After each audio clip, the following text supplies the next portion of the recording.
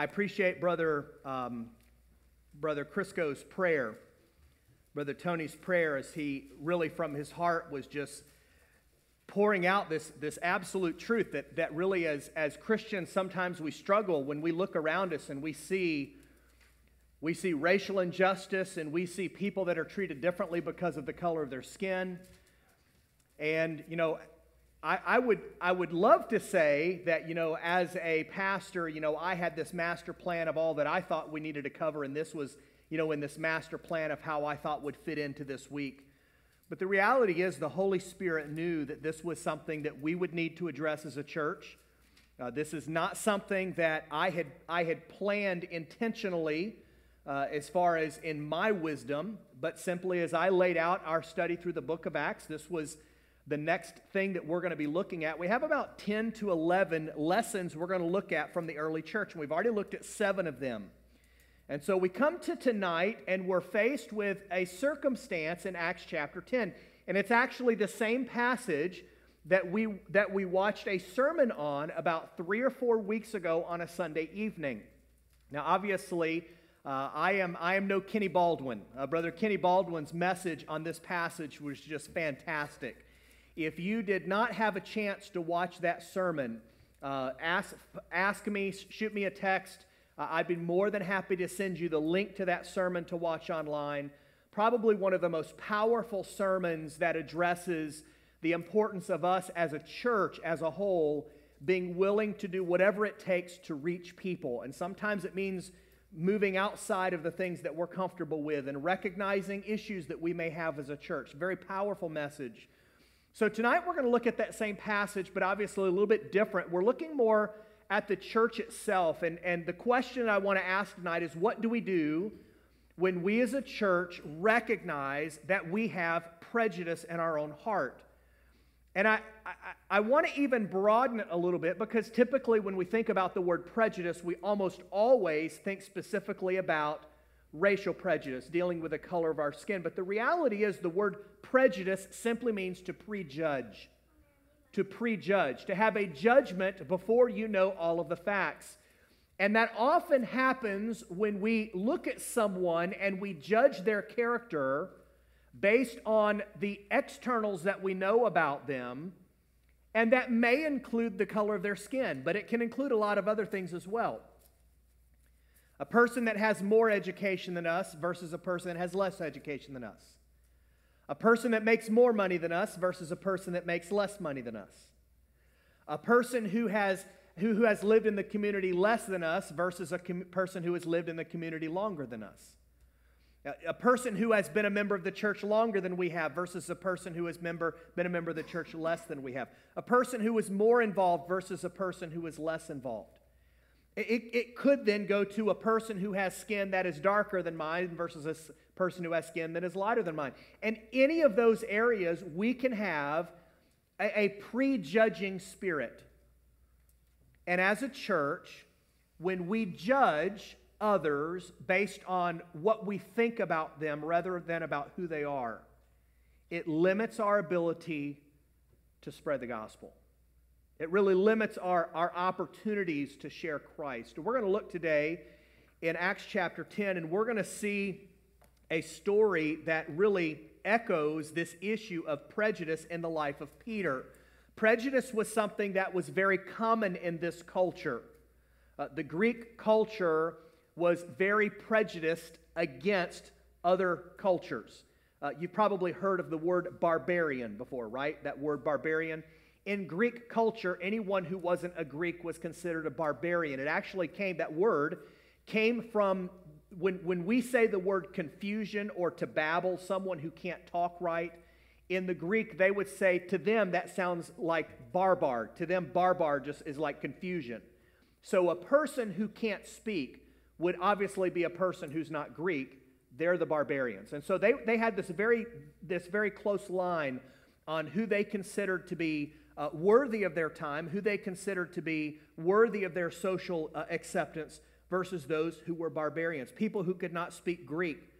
And, and so the, the Greeks could not understand them. To them, it sounded like confusion, and they were barbarians. Uh, Aristotle himself uh, believed that those who lived in cold climates to the north had lots of courage and spirit, but very little intelligence. And people who lived in the warm south had plenty of intelligence, but they have little spirit and courage. Only the, only the Greeks who lived in the perfect middle climate had the perfect blend of character. And he, they, he literally believed that. That based on where you lived, based on the temperature, that controlled who you were as a person. So, so understand the concept of prejudice is not new. It is not unique to the United States of America. It is not unique to our culture. And it is not unique to Christianity as well. It's not new to Christianity. Tonight, we're looking at a passage where Peter has to deal with the issue of prejudice in his life. And it comes when he is uh, staying in Joppa, there on the Mediterranean coast. It's about, um, and, and in the process, God sends someone to him who Peter has to learn a very important lesson that God intends for him to share the gospel with this man. So we don't often read passages this long, but tonight we're going to start in Acts chapter 10, verse, verse 1, and we're going to read to verse 34. So it's quite a lengthy passage, but for us to understand what's happening, we need to see what's taking place in the passage. The Bible says there was a certain man in Caesarea called Cornelius, a centurion of the, of the band called the Italian band, a devout man, and one that feared God with all his house, which gave much alms to the people and prayed to God always. He saw in a vision, evidently, about the ninth hour of the day, an angel of God coming into him and saying unto him, Cornelius. And when he looked on him, he was afraid and said, What is it, Lord? And he said unto him, Thy prayers and thine alms are come up for a memorial before God. And now send men to Joppa, and call for one Simon, whose surname is Peter. He lodgeth with one Simon a tanner, whose house is by the seaside. He shall tell thee what thou oughtest to do. And when the angel which spake unto Cornelius was departed, he called two of his household servants and a devout soldier of them that waited on him continually. And when he had declared all these things unto him, he sent them to Joppa. On the morrow, as they went on their journey and drew nigh to the city, Peter went up into the housetop to pray about the sixth hour.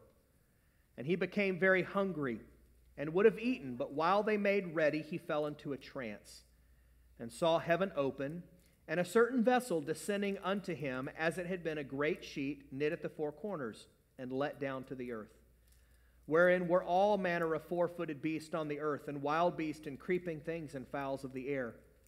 And there came a voice unto him, there came a voice to him, Rise, Peter, kill and eat.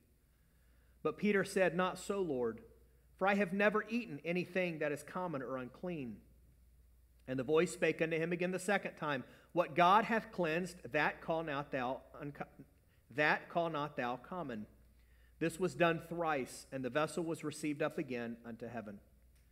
Now, while Peter doubted in himself what this vision which he had seen should mean, Behold, the men which were sent from Cornelius had made inquiry for Simon's house and stood before the gate, and called and asked whether Simon, which was surnamed Peter, was lodged there. While Peter thought on the vision, the Spirit said unto him, Behold, three men seek thee.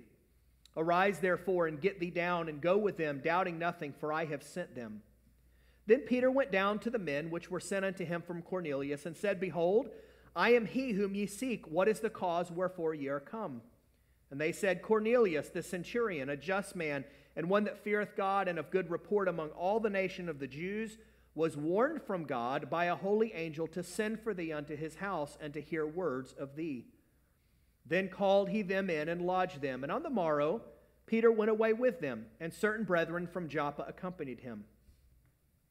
And the morrow after they entered into Caesarea, and Cornelius waited for them, and had called together his kinsmen and, and near friends. And as Peter was coming in, Cornelius met him and fell down at his feet and worshiped him. But, but Peter took him up, saying, Stand up, I myself also am a man. And as he talked with him, he went in and found many that were come together. And he said unto them, Ye know how that it is unlawful thing for a man that is a Jew to keep company or or, or to come unto one of another nation, but God hath showed me that I should not call any man common or unclean. Therefore came I unto you without gainsaying, as soon as it was I, I was sent, as soon as I was sent for. I ask therefore for what intent ye have sent for me.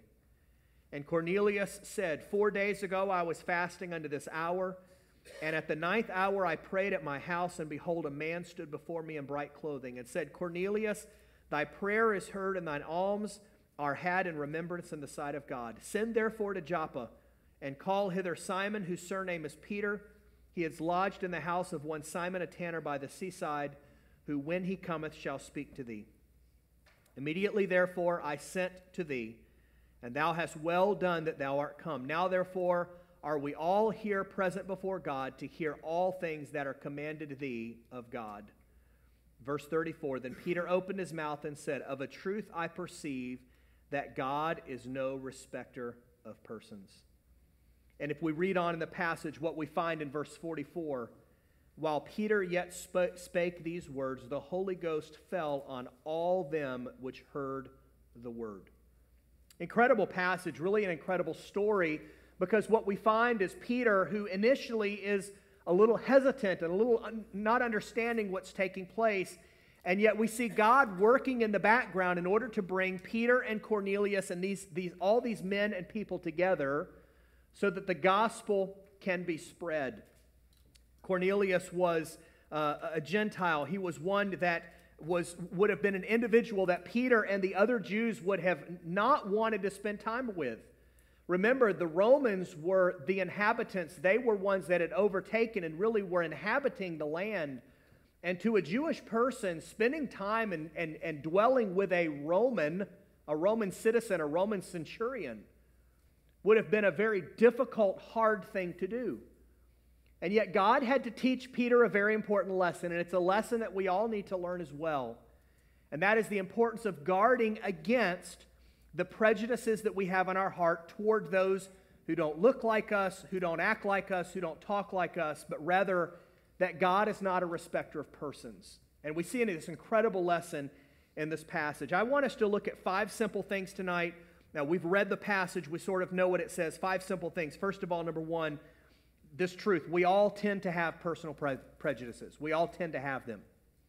And I, and I say that based on the authority of this passage that here Peter, who was one of the apostles, Peter, one of the closest 12, not even realizing that he had in his heart this, this prejudice against the gospel being spread to those who were not of his own kindred, how much how, how easy it would be for us as well if even a godly man like Peter had a prejudice, then how easy it would be for us to be prejudiced toward people that don't look like us as well, and, and probably blind to them.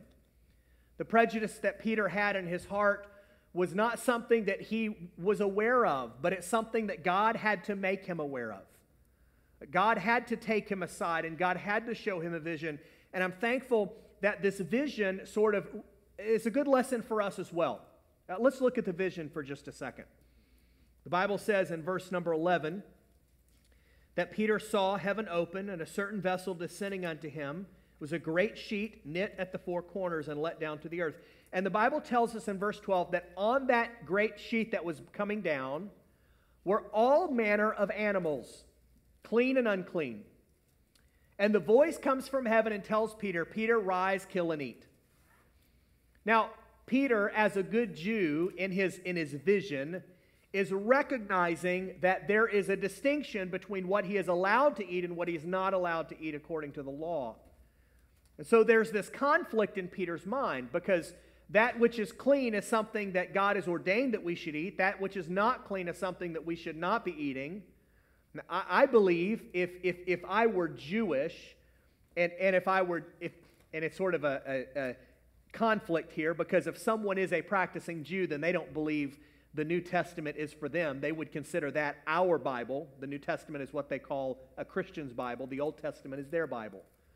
But for someone who is Jewish, this passage is very clear that Peter, as a Jew, is being released from the dietary restrictions. And I believe from this point onward that Jewish people, as they were transitioning out from underneath the law, as they're now transitioning into grace, and we see now the, the gospel is the death, burial, and resurrection of Jesus Christ, that becomes what our, their faith is in.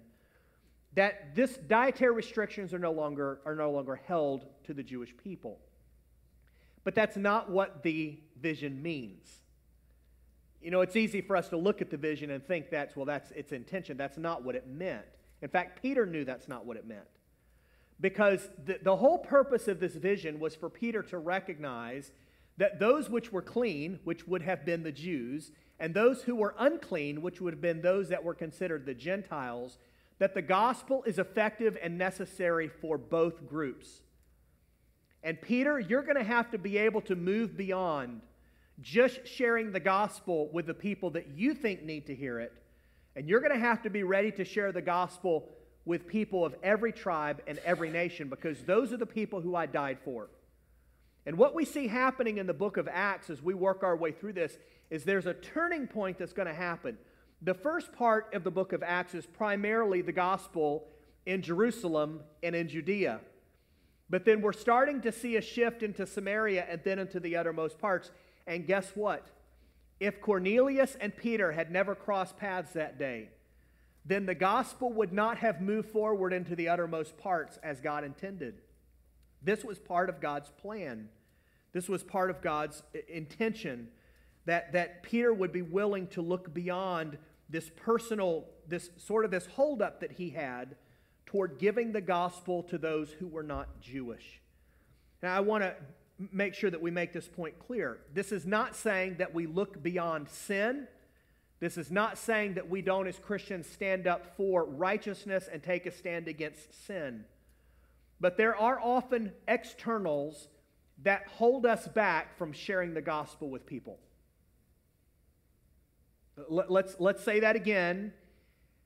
Let's take a deep breath because it's a hard thing for us to face. Sometimes there are externals that would keep us from sharing the gospel with someone. I pray that God would remove the blinders of our own sin and allow us to see that everyone needs the gospel. Everyone needs the gospel. Someone, someone walks by you that is covered in tattoos from head to foot, and often our reaction is to see that, and we, we, we don't want anything to do with a person who looks like that. Listen, Jesus died for that person. They need the gospel. A person who has a different skin color than you have, than, or than I have, may be lighter, may be darker, someone who comes from a different background. Maybe they, they came up in a, a background where they had more money, or they've come up in a background where they have much less money. Jesus died for them. And as Christians, we have to be willing to step back and recognize that even within our own hearts, and I'm being transparent with you tonight, the same thing happens in my heart. There are people that'll walk by, and the Holy Spirit will have to grip my heart and say, Stop, you need to talk with this person. You need to share Christ with this person. You need to be, you need to be a, a, a light to this individual. A couple of, um, I, I'm going to say this ashamedly because I, I didn't listen to the Holy Spirit the first time it happened, but I'll share this example. This was last year. I think Andrew was in the truck with me, and we were driving. I think we were driving to go hunting over on James Dunlap's property. Andrew, is that right? Is that where we're headed? I think we're headed that direction. And uh, I was in the truck, Andrew was with me. So we had camouflage clothes on. It was probably a Friday afternoon or a Saturday afternoon, about 2 o'clock, 3 o'clock. So, y'all, many of you know where Brother James lives. It doesn't go to our church, but is in our community, lives over on, on Dan Road. And so I was headed over that direction, and there's a cut through road that goes from here over to Dan Road. And as I took that cut through road, we passed a couple of houses and there were, there were some people, there were a couple of black gentlemen sitting out in the front, sitting out in the front yard by a table as I drove by. And uh, Brother Tony's nodding his head. You've probably seen those gentlemen if you've, if you've driven over that direction. Every day. Every day. I was driving by, and as soon as I saw them, the Holy Spirit said, You need to stop and talk with them. Now, as many times as I've driven by, I don't think I had ever seen them out there, but they're there. They're in that they're part of our community. I had never introduced myself. And, and for as much as it is easy for us to introduce who we are and you know someone's new in the community let's give them a housewarming gift and it's so nice to meet you we're so glad you're part of our community i had never stopped there i'd never seen those gentlemen and the holy spirit you to stop me and talk with them and immediately there was this conflict that came up in my heart because i had something to do or i was busy or, or i'll be honest with you maybe it was just my desire to not stop. And so we drove by. And I think we made it down to the stop sign. And that entire time, I mean, the Holy Spirit has just beaten me over the head. I can't believe, I can't, you know, I mean, the Holy Spirit's just given it to me. And I knew if we kept going and we made it to our hunting stand, I was going to be thinking about that all night. And I, I could not, I, I, I had to make it right. I had to obey. So I turned the truck around, and Andrew, Andrew said, Dad, what are you doing? Because we had, you know, we're, we're close to where we're hunting. Pulled in, pulled in their driveway, got out. They were a little, they were a little shocked. Here's this man getting out in full hunting gear out of his truck, who they had seen just pull by, and now I pull back in, and I, and I went up to those three men, those three men, and I talked to them briefly, introduced myself. And you know, there have been other opportunities that I've gone by there that I've stopped again and just just talked to them. And within my own heart that day, even in that little instance, a personal prejudice was revealed in my own heart. It's so easy for it to be there, and we don't even know it's there. And it doesn't matter whether it's over the color of our skin, or whether it is over how much money we make, or where we grew up. The reality is, we have, we have to be aware that no matter who we are as believers, we can treat people differently. And when we do, it hinders the spread of the gospel. The second thing we see from this passage is that God was gracious in working through Peter's prejudice. And I'm thankful that God is gracious with us as well. Uh, notice in the passage, uh, the Bible tells us that God sent an angel to Cornelius. We read that at the beginning, at beginning of chapter 10. And, and not only does God send an angel to Cornelius, but then God sends a vision to Peter. And in fact, God sends the vision to Peter three times all of this is God's way of gradually helping to break Peter out of his comfort zone. God was preparing his heart. God was allowing him to see beyond the, the differences between the Jews and the Gentiles so that he would recognize that the gospel needed to go out to all groups of people. I'm, I'm thankful that the Lord worked gradually with Peter and slowly worked him along so that at the point that they asked Peter to come with them, Peter was willing to go. Now, at that point, the Bible tells us that Peter didn't fully understand what God was doing. You know, when God uses us through our personal prejudices, sometimes we don't understand what God's doing with that. We don't understand what God's trying to accomplish. Peter didn't know what was being accomplished. When, when they invited Peter to come, he went and the Bible tells us, verse number, 20, verse number 29, he says, I ask therefore for what intent ye have sent for me. Okay, I'm here. What, what do you need of me? What can I do for you? Peter didn't understand what God was intending, and yet God graciously brought him along that process in order to, in order to allow him to minister. And it's a process that sometimes we fail on. Just because God has, is, is working us through that process as a church or even as, a, as an individual, it doesn't mean we aren't going to fail in that. The Bible tells us, as we read later in the book of Acts, that Peter again struggled with prejudice when it, when it came to Antioch. Antioch was truly, if you want to call it a multiracial church, it was a church full of people of every, every tongue, people of different ethnicities. They were all there at that church. And when Peter went to the church, the Bible tells us that he was just eating with everyone. But then there were some devout Jews from Jerusalem that came, and what did Peter do? He got up from the table with the Gentiles and he distanced himself from them and just sat with the Jews. And you know, it's interesting that in the book of Galatians, Paul calls Peter out for that. Paul recognizes that though Peter was an apostle, though Peter was a disciple, Peter, even later in his life, continued to struggle with treating people differently based on how he would be perceived. But it's a process, and I'm thankful that God brings us along in that process. Third, third thing I want us to see is what's the purpose? Why, why does God bring us along in this process? And the purpose is because he wants to use us to share the gospel with all people. God wants to use us to share the gospel with all people. When we set up barriers between us and other people, no matter what the barrier would be. socioeconomic, race, upbringing, amount of education, no matter what that barrier may be, when we put up barriers of our own, it keeps us from being able to share Christ with Him. There was only one thing that God wanted to accomplish through Peter in Acts chapter 10, and do you know what it was? To bring Cornelius to the saving truth of the gospel. That was, that was the whole purpose. That the entire purpose of this chapter, the vision, all of this, was so that Peter would recognize that God is not a respecter of persons.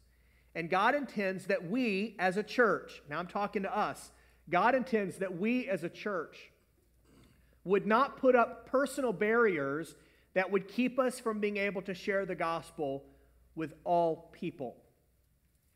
I, I, hope, as a, I hope for you as individuals and then for us as a church, when we see, one come, see someone come across our path that doesn't look like us, that doesn't act like us, that doesn't have our background, they don't have a church upbringing, that our first response isn't to push them outside. Our first response should be, okay, Lord, you've brought them across my path. Help me to show the love of Christ to them. When, when we are willing to use, when we are willing to see that God wants to use us as a gospel witness, then we realize that people that come across our path, God has done that with intention. God's purpose is to be glorified among the nations. It's interesting that Cornelius was seeking after something. The Holy Spirit, seeing Cornelius's desire, sent him an angel that said, Go find Peter. If Peter had responded negatively, you had Cornelius, who was a man desiring to know truth, that would not have known truth. You know, it's, we didn't read through the passage, but it's interesting as Peter is speaking. Uh, look with me if you would. Uh, Peter starts talking in verse number 37. He kind of goes through the story. He talks about uh, this God anointed Jesus of Nazareth uh, who went about doing good and healing. Uh, at verse 39, and we are all witnesses. Um, whom they slew and hanged on a tree. Verse 40, God raised him up on the third day. Verse 42, and he commanded us to preach of these of, to, unto the people. Verse 43, uh, that through his name, whosoever believeth in him shall receive remission of sins. And then the next thing, the next thing in verse number 44 says, while Peter yet spake these words. Now it's interesting what fra- that phraseology. What that means is Peter wasn't done. Peter wasn't finished. Now, Peter had given a pretty good synopsis of the gospel. God sent his son Jesus to die on the cross. The Jews, the unbelieving Jews, had him crucified. Then God rose him, he died, was buried, and he rose again the third day. And God has now sent us to preach of that gospel. And that is why I'm here. That's what God has called me to do is preach the gospel. And I don't know what else Peter was planning on saying, but Peter wasn't done speaking yet. It wasn't the invitation time. Peter didn't tell everybody to bow their heads and close their eyes. Peter was still in the process of talking. And the Bible says, while Peter yet spake these words, the Holy Ghost fell on all them which heard the word. There was a move of the Holy Spirit. Cornelius and those men, the people that were around him, were looking, they were searching for truth. I wonder how many times God brings someone across our path that is searching for truth. But because of something that makes us uncomfortable, we're not willing to be the ones to share with them that truth. Because there's something that makes us uncomfortable, and that something can be a lot of different things that when you all boil down to it, they are all things that we've prejudged a person based on an appearance or what we think about them instead of looking at a person who needs Jesus Christ. That's what we should judge a person by. It's a person that needs Jesus. God's intention was to use Peter to share the gospel. I, I, love this in Revelation chapter 5. Let's turn there. I want you to read this verse. This is such, an, such a beautiful, such beautiful language. Revelation chapter 5, verse 9. Let's read verse 8 and 9. Revelation 5, verse 8 and 9. And when he had taken the book, the four beasts and four and twenty elders fell down before the Lamb, having every one of them harps golden vials full of odors, which are the prayers of the saints. And they sung a new song, saying, Thou art worthy to take the book and to open the seals thereof. For thou wast slain and hast redeemed us to God by the people. Notice what it says out of every kindred and tongue and people and nation. Would you say those, those phrases with me? Out of every kindred and tongue and people and nation. Oh, that's beautiful. See, the gospel is not just for people that look like us. In fact, I think often we think that America is like the central area, the central location of the gospel, and somehow we are the ones that are sending the gospel out to the rest of the world. Let me tell you, that is, a very, that is a very American centric view of the gospel.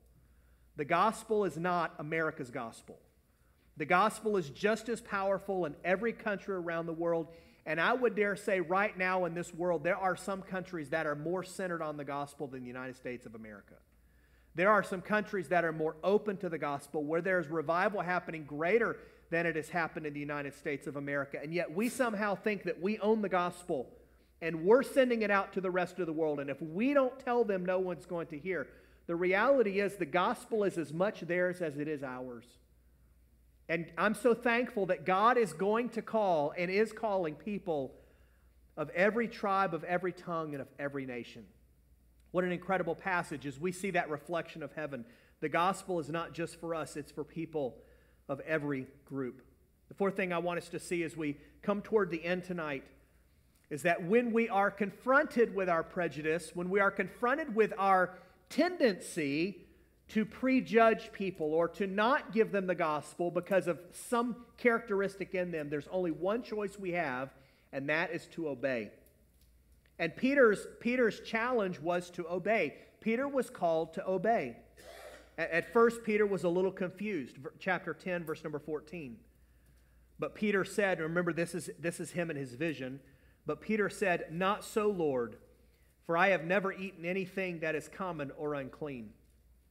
And I realize we could look at this and we could really give Peter a hard time, but the reality is, according to the law, there were certain things that Peter was not allowed to eat. And what, this, what he was being told by the angel in this vision was that he was free to eat of these things. And in his vision, he's, he's tied to the law, he's tied to the, his, his, his background, his upbringing, the things that he has been taught. And initially, there was a little bit of confusion because God is trying to teach him a lesson about who needs to hear the gospel.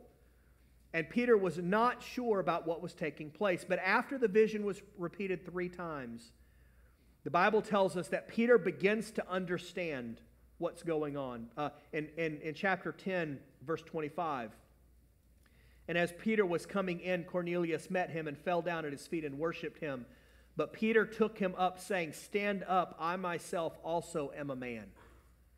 That's, that's, those are important words. I would say for every pastor, those are important words. That Brother Stephen, as God has called you into ministry, I would challenge you, memorize that verse. Because as a pastor, when you are in leadership position, as a Sunday school teacher, as a, as a deacon, anytime we are ministering in front of other people, it's possible or there's a tendency for people to look up to you in that leadership position and to treat you as different and to treat you as something special. Let me tell you right now, I'm just a man. And I'm telling you that for me. I'm just a man. I'm, I'm thankful that God has given me the privilege of pastoring here at Needham's Grove Baptist Church. But as your pastor, I'm not a dictator. I don't command what we do as a church. I, I'm, I'm a leader here, and my job is to cast the vision, and we, we follow along as we study God's Word together. But the reality is, pastors are not to be worshiped. Peter was not to be worshiped. And I'm thankful that Peter recognized that. Peter looks at Cornelius. He says, Whoa, whoa, whoa, get, get up. Stop, stop bowing to me.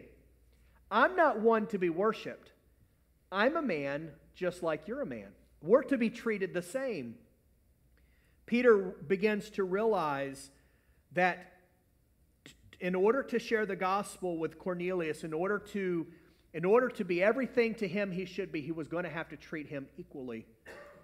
You know, I've read it this way we should view ourselves as beggars whose job it is to show others beggars where we find God's free bread. Our, our, our, our, our position should be we should view ourselves as beggars whose job is to show other beggars where to find God's free bread. You, you think we, we are owed anything by God? Do you think God somehow looks on us and, and he looks at us as a favorable, congr- favorable congregation or favorable believers? No, no, no. We just every day go to the green pastures of God's word and say, God, feed us. And when we find those green pastures, we should say to the people that are next to us, hey, come along with me. Let's go to God's green pastures together. We're just beggars trying to learn from God, trying to understand His Word, trying to grow from what He gives to us. And I'm thankful that Peter was willing to obey. The final thing I want us to look at is this that God used Peter because he was willing to look beyond that personal prejudice. God used him. That God prepared Cornelius, God prepared Peter, God brought them together. And then the Bible tells us that Peter, verse, Peter began to command, verse 33, to hear all the things which are commanded thee of God. He began to preach. Peter didn't even have a chance to finish his message, and God was already moving. You know, I, I, I hurt, honestly, I hurt today looking at all the things that are going on in our country. Um, you know, this last week, and I appreciate Brother, Brother Tony mentioning this in his prayer as well. This last week, seeing the video of, of that man who was, who was killed. And, you know, no matter what extenuating circumstances there may be, it, it's painful. It's, it should hurt us to see someone grasping for breath and not being able to breathe. In our humanity, we recognize that's, that's, that's hard, that's, that's, that's, that's difficult. And when we look at a situation like that, our heart should break for families, our heart should break for those that are affected. But then we move beyond and we recognize that we live in a country where people have the right to protest and people have the right to, to disagree with things that are going on. And we, we actually saw that initially in, in some different places where it was peaceful. In fact, some cities last night, there were some peaceful protests. But it breaks my heart to see even protests being used as an excuse to do things that in themselves are illegal and dangerous and hurtful and harmful to others. My heart breaks for the for the, the, the, the, small business owners who wanted to come into work today and their businesses were burnt down. For people that had businesses and, and, and you know, had a job that they were wanting to come to today and their jobs are burned down. And, and my heart breaks even today as I hear about other even smaller, smaller towns and smaller communities where they have protests planned that could spill over into violence. As much as we can be angered at that, God still expects us as believers to lay aside the, the, the barriers that we put up to the gospel. And God has called us to minister to the people in our community. And that doesn't matter whether they look like us or not. It doesn't matter whether they have the same upbringing as us or not, or whether they make the same amount of money as us or not. Peter had to learn that lesson in a very hard way. And I pray that God would allow us as individuals and as a church to be salt and light in our community no matter no matter what barriers we may have put up in the past that we would tear those down and say okay lord Help us to minister to people. Help us to minister to people. And I'm thankful that God gives us this story of Peter because Peter learned the lesson. Now, he still struggled later again with it, a little bit different situation. But in this, in this case, Peter learned his lesson, and I'm thankful that Peter embraced it. And because of that, the gospel went out to the Gentiles. I, I would love for us as a church to say, okay, Lord, what can we do in our community? And let's take down anything that personally may keep us from doing that. Lord, help us to be used. Help us to be a light to the people that we come in contact with.